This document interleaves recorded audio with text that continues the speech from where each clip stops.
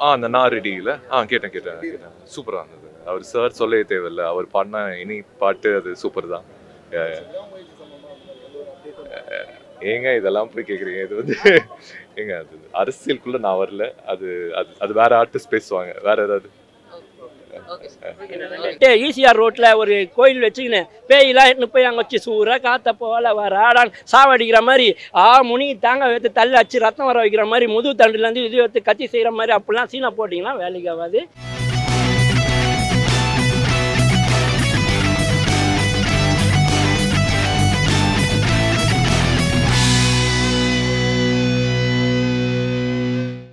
Okay தமிழில் வந்து ரொம்ப நாள் கழிச்சு ஒரு ஃபுல் ஃப்ளெஜ் ஹாரர் நீங்கள் பார்க்கலாம்.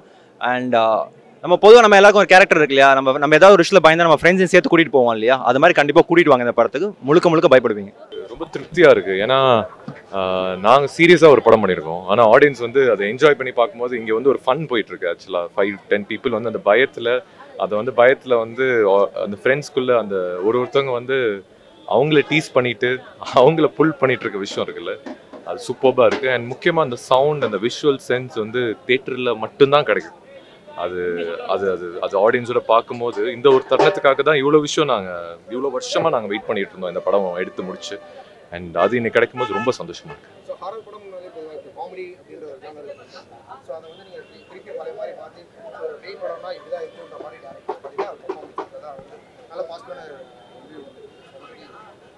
அதுதான். இப்போ நம்ம ஹாரர்னா ஹாரர் காமெடி இல்லை ஹாரர் ட்ராமா பண்ணுவோம் பட் பியூரான ஒரு ஹாரர் எக்ஸ்பீரியன்ஸ்க்காக ஒரு தீம் பார்க்குள்ளே போகும்போது ஒரு ரைடுக்குள்ளே போகும்போது நீங்கள் வந்து பயம் இருந்தாலும் உட்காந்து அதை வந்து எக்ஸைட்மெண்ட்டோட பா போவீங்கல்ல. இங்கேயே நிறைய ஹாண்டட் ஹவுஸ் இருக்குது ஆனால் எல்லாருமே ஃப்ரெண்ட்ஸாக போவீங்க உள்ளே போய் அதை என்ஜாய் பண்ணிவிட்டு ஃபன்னாக வருவீங்களா அதே எக்ஸ்பீரியன்ஸ் ஒரு படத்தில் கிடைக்கணும்னு ஆசைப்பட்டோம். அது கிடச்சிருக்கு. இந்த மாதிரி படங்கள் வந்து நிறையா வரணும். ஆனால் இது ஒரு டைப் ஆஃப் ஜானர் வந்து தமிழ் சினிமாவில் வர்றது ரொம்ப கம்மி. அதை வந்து ஒரு ஒரு புதுசா பண்ணியிருக்கோம் ஹம்பிளா பண்ணியிருக்கோம். ஆடியன்ஸ் என்கரேஜ் பண்ணா ரொம்ப சந்தோஷம். இல்லை இல்ல இல்ல இல்ல இல்ல. அந்த அந்த ஷார்ட் ஃபிலிமோட கரு மட்டும் தான் அந்த அந்த அந்த கரு மட்டும் வச்சுக்கிட்டு அதை அதை அதை எக்ஸ்டென்சிவா எடுத்து பண்ணியிருக்கோம். யா யா ஆ அந்த நாரடியில். ஆ கேட்டேன் கேட்டேன் கேட்டேன். சூப்பரா இருந்தது. அவர் சார் சொல்லவே தேவையில்லை. அவர் பாடின இனி பாட்டு அது சூப்பர் தான். ஏங்க இதெல்லாம் போய் கேக்குறீங்க? இது வந்து ஏங்க அது அரசியலுக்குள்ள நான் வரல. அது அது அது வேற ஆர்டிஸ்ட் பேசுவாங்க. வேற ஏதாவது?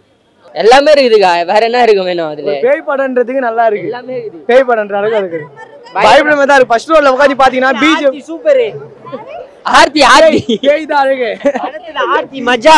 மூஞ்சி மட்டும் தெளிவா காட்டல. காட்டியிருந்தாங்கன்னா பயங்கரமா இருந்திருக்கும். புரியல பேய் ஆமா செம்மையா இருந்ததுக்கா பேய். தான் அழகா இருந்தது நல்லா எல்லாருமே சூப்பரா எயிட்டி பத்துக்கு நான் ஹண்ட்ரடுக்கு சொல்றேன் நீங்க டென்னுக்கு சொல்றீங்க. கேட்கலாம்ல கேட்கணும் நான் மட்டும் சொல்லிட்டேன். டென்னுக்குனா தான். எயிட் எப்படின்னா அரக்கர்களை பத்தி சொல்றாங்க. அரக்கர் ஆட்சி பண்ணும்போது இவங்க பழிச்சிடுறாங்க. பீம் படத்துலாம் சொல்ல சோட்டா பீம் அவன் சோட்டா பீம் எல்லாம் அரகு ஆட்சி பண்ணும்போது அது- பேயினும் சொல்ல முடியாது படம். நறுக்க முடியும் அந்த படத்தை பார்த்துட்டு. நல்லா இருந்தது. பயமா இருந்தது. ஃபர்ஸ்ட் ரோல உட்காந்து பாத்தீங்கன்னா நல்லா ஷோ போடுவாங்க. ஃபர்ஸ்ட் ரோல போட்டு உட்காந்து பாருங்க எங்களை கேட்க நீங்களே ரிவ்யூ கொடுத்துடலாம் அவங்களுக்கு படம் நல்லா இருந்ததுமா இவரோட ஃபர்ஸ்ட் செகண்ட் ஃபிலிம் ராக்கி பார்த்தேன்.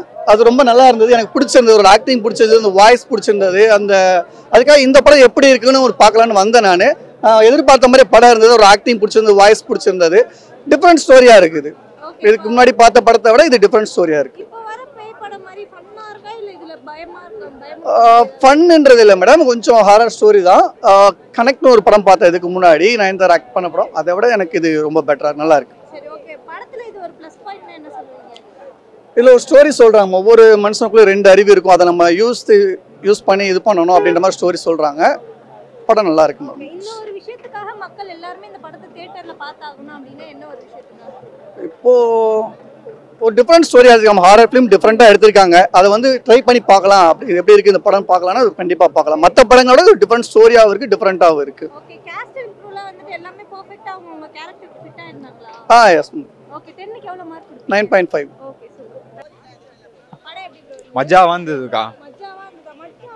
இருக்கு அப்படி? மஜாவனா இந்த இப்போ ஹாரர் மூவி இப்போ ப பழசானா வருதுல ஹாரர் மூவி அதோட இந்த ஹாரர் மூவியை பார்த்தா நல்லா இருக்குதுக்கா? அதானே வேஸ்ட்டுக்கா இப்போ மொக்கக்கா எல்லாமே. இதா பாருங்கக்கா இதை பார்த்தா தான் நல்லா இருக்குது. ஏன்னா அதில் வந்து அந்த ஒரு பொண்ணு இருக்குது அதில். சாங் இல்லை அந்த பொண்ணு வந்து ப்ரெக்னெண்ட்டாக இருக்கிறது அவங்க கட்டி பிடிச்சி அழுவுறது அந்த சீனாக மஜாவாக இருந்தது. இருக்கிறதுல லாஸ்ட் சீன் ரொம்ப மஜாவாக இருந்தது. கொஞ்சம் போராக இருந்தது ஃபஸ்ட்டு இதில். அப்புறம் போக போக தான் இன்ட்ரெஸ்ட்டாக படம் பார்த்து நல்லா இருந்தது. இன்ட்ரெஸ்ட்டாக ஆ. அந்த இதே அடுத்து எப்படி இருந்தது? ஃபுல்லாக அதுக்கு மைண்டு நம்ம கட்டுப்படுத்தணும்க்கா. அந்த பே பண்ண அதான்க்கா மஜாவாக இருந்தாங்கக்கா அவங்க தான்க்கா இருக்கிறதுலே அவங்க ரெண்டு பேரும் நல்லா இருந்ததுக்கா. செம்மையா இருந்தது. படத்தை போய் பாருங்க. லவரோட உள்ள போய் பார்த்தா தான் நல்லா இருக்கும். படத்தை பார்த்தா. இல்ல ஃபுல்லா பசங்க தான்க்கா வந்தோம். எல்லாம் ஃப்ரெண்ட்ஸுங்க தாங்கக்கா ஏன்னா அவங்க ஆறு சும்மா ஜாலியா உட்காந்து பார்க்கலாம்க்கா. என்னக்கா சொல்ல முடியும்? அவங்கன்னா மத்தவங்க மற்ற அப்படின்னா இல்லைங்க நல்லா இருக்குது படம். நீங்க போ- நீங்க கூட உள்ள போய் பாருங்கக்கா. நான் பார்த்த படம் வந்து அஸ்வின்ஸுப்பா ஆக்சுவலாக நான் பார்க்க வந்த படம் தலைநகரம் டூ தான். தலைநகரம் டூ இன்னைக்கு ரிலீஸ் இல்லைன்னு சொல்லிட்டாங்க. அப்புறம் அப்படியா?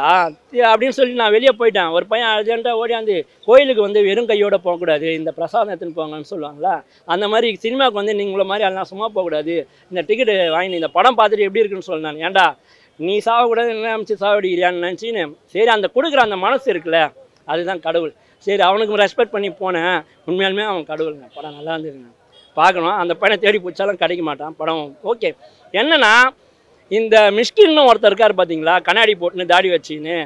இந்த ஆள் எடுத்த முன்னாடி படம் கிபி கிமு மாதிரி இந்த ஆள் பேயை வந்து ஃபிகராக காமிச்சதுலேருந்து எல்லாம் பேயை பேய்க்கான பயம் ரெஸ்பெக்டே கொடுக்க மாட்டானுங்க ஆரம்பத்தில் அந்த பேயை அவனுங்க வர பேய் கூட இல்லை. யார் வந்தாலும் அவனுங்க பார்க்குற பார்வையே டேய் அது ஏ சர்டிஃபிகேட்லாம் போடலடா ஆர்ஆர் படம்டான்னா கேட்க மாட்டான்னு கலாச்சின்னு இருந்தாங்க. கொஞ்ச நேரங்க அப்புறம் டேரக்டர் பிடரியில் ஒன்று வச்சார் பாருங்க. கம்முன்னு ஆகிட்டாங்க சாப்டர் சாப்டர் வந்தார் ஹாலிவுட் மாதிரி அழகாக போச்சு. எங்கே சவுண்டு கொடுக்கணும் எங்கே என்ன கொடுக்கணும்னு அழகாக போச்சு. இவங்க இதை புரிஞ்சிக்கல. இன்ட்ரோல் பிளாக்ஸ் வரைக்கும் கொஞ்சம் அப்படியே அமுக்குனார். அதுக்கப்புறம் தான் இவங்களுக்கு புரிய வச்சார். இதுதான்டா உலகம். இந்த உலகத்தில் கெட்டவன் யாரும் இல்லை நல்லவன் யாரும் இல்லை. ரெண்டு பேருமே உனக்குள்ளே தான் இருக்காங்க. நீ எந்த சைடு நிற்கிறியோ நல்லவனா நின்னா நல்ல கிருஷ்ணராக தெரிவ. ஆப்போசிட்டில் கெட்டவனா நின்னா சகுனியாக தெரிவ. அது மாதிரி பேய்களுக்குன்னு ஒரு உலகம் இருக்குது நல்லவனுக்குன்னு ஒரு உலகம் இருக்குது நீ தான் அது. அது போய் நீ அவங்களெல்லாம் காப்பாற்றுன்னு சொல்லி அவர் இன்ட்ரோல் பிளாக்ஸ்க்கு அப்புறம் கொடுக்குறது. அந்த ஆக்டிங் அந்த மூஞ்சி இந்த படம் பேய் படத்துக்கு நடிக்க உண்டான அதே முகம் வசந்த் ரவின்னு நினைக்கிறேன் அவர் பேர். ரொம்ப அருமையாக நினச்சிருக்காரு இந்த படத்தில் பெருசாக பேசப்படுறது வந்து சினிமோட்டோகிராஃபி. அதாவது நம்ம முன்னோர்கள் இருக்குன்னா சொல்லியிருப்பாங்க ஏழு கடல் ஏழு மலையை தாண்டி ஒரு பொட்டி இருக்கும். அதுக்குள்ளே ஒரு வ- இதெல்லாம் இருக்கணும். அதே மாதிரி தான் அந்த கான்செப்ட் எடுத்துன்னு போனாங்க. ஆனால் full and full foreign type foreign படத்தில் தமிழர்கள் நடித்த மாதிரி இருந்தது. அது நம்மள வாழ்த்துக்கள் வேண்டிய விஷயம். இல்லைன்னா இதெல்லாம் வந்து ஆக்ஷன் த்ரில்லர் ஹாரர் பார்க்குறவங்க எல்லாம் கண்டிப்பாக வந்து பார்க்கணும். இது வந்து வீட்டில் புலி புலி சோறு வந்துட்டு ஈசிஆர் ரோட்டில் ஒரு கோயில் வச்சுக்கின்னு பேயெல்லாம் எட்டு போய் அங்கே வச்சு சூறாக காற்ற போல வராடான் சாவடிக்கிற மாதிரி ஆ முனி தாங்க வைத்து தள்ளி அச்சு ரத்தம் வர வைக்கிற மாதிரி முதுகு தண்டுலேருந்து இது எடுத்து கத்தி செய்கிற மாதிரி அப்படிலாம் சீனா போட்டிங்கன்னா வேலைக்கு ஆகாது. இது வந்து ஆர்ஆர் ஃபிலிமா ஹாரர் ஃபிலிமா பாருங்கடா. ஏன்டா இப்படி பண்ணுறீங்கன்னு சொல்லி ஒரு டேரக்டர் எடுத்திருக்காரு. வழக்கமாக இவங்களுக்கு நல்லது சொன்னால் தான் பிடிக்காதுல்ல. இன்னொன்று இந்த மாதிரி டேரக்டருங்களுக்கு அவார்டு தரமாட்டாங்க. ஏன்னா அவர் காசு வச்சுருக்க மாட்டார். இன்னொன்று அவருக்கு அரசியல் சப்போர்ட்டும் இருக்காது. அந்த மாதிரி டேரக்டருங்களுக்கு என்ன மாதிரி சினிமா ரசிகர்கள் சொல்கிறது ஆனால் நல்லா பண்ணியிருக்கீங்க. நல்லா வருவீங்க. சூப்பராக வருவீங்க. நீங்கள் இன்னும் நல்லா வரணும். அதே மாதிரி இந்த மாதிரி நடிகர்களுக்கு இந்த மாதிரி படம் கொடுத்தா தான் அவங்களோட ஆக்டிங் ஸ்கோப்பும் வெளியே வந்து வரும். இல்லைன்னா மைக் மோகன் பேய் படத்தில் நடிச்சதுக்கப்புறம் காணாமல் போன மாதிரி எல்லா நடிகரும் போயிடுவாங்க. உஷாராக இருங்க. ஆனால் படம் நல்லா இருக்குது ரொம்ப வாழ்த்துக்கள். நான் தான் சொன்னேன் வேறு நடிகர்கள் நடித்தாங்கன்னா மைக் மோகன் மாதிரி காணாமல் போயிடுவாங்க. இந்த மாதிரி நடிகர்களுக்கு அந்த முகம் இருக்குது நீங்கள் அந்த அந்த முகத்தை பாருங்களேன். இவரை மாதிரி தெரியும். வில்லன் முகம் தான் இருக்கும். விஷால் அண்ணன் எவ்வளோ படம் நடித்தாலும் ஏன் ஃபெயிலியர் ஆகுதுன்னே தெரியாது அவருக்கு. அதே மாதிரி பாரதி ராஜா இருக்கார் பாரு அவங்க பையன். எவ்வளோ படம் நடித்தாலும் ஏன் நம்ம படம் மட்டுமே ஓட மாட்டுதுன்னு தெ- விஷயம் என்னென்னா நீ ஹீரோ கண்டென்ட் இல்லையா? நீ வில்லையா அது புரிஞ்சுக்கையான கே என்கிட்ட பைசா இருக்குது. நான் அப்படி தான் நடிப்பேன்னா நம்மள ஒன்றும் செய்ய முடியாது. இந்த மாதிரி முகத்தில் தான் எடுத்துன்னு வர முடியும். அது டேரக்டருக்கு தெரிஞ்சிருக்கு அதுதான் கதையை நம்பி படம் பண்ணணும் சதியை நம்பி பண்ணக்கூடாதுன்னு சொல்லுவாங்க. நீ உங்கள் கையில் காசு இருக்குதுன்ட்டு நீ படத்தை எடுத்துன்னு வந்தேன்னா நாசமாக தான் போவேன். அதுக்காக நாங்கள் ஒரு ஹவர் கொஞ்சம் சமாளிச்சுப்போம். ஃபுட் பாய்சன் மாதிரி எங்களுக்கு வேறு பாய்சன்லாம் வரும். அது வீட்டுக்கு போயிட்டு நாங்கள் சரி பண்ணிப்போம். பட் ஆனால் உனக்கு கெட்ட பேர் வாங்கி வச்சிங்கன்னா ஆயுசு புள்ள நான் ஹீரோ நான் ஹீரோ நான் ஹீரோன்னு நீ அலைஞ்சுன்னு தான் இருக்கணுமே கண்டி. படம் பருப்பு வேகாது.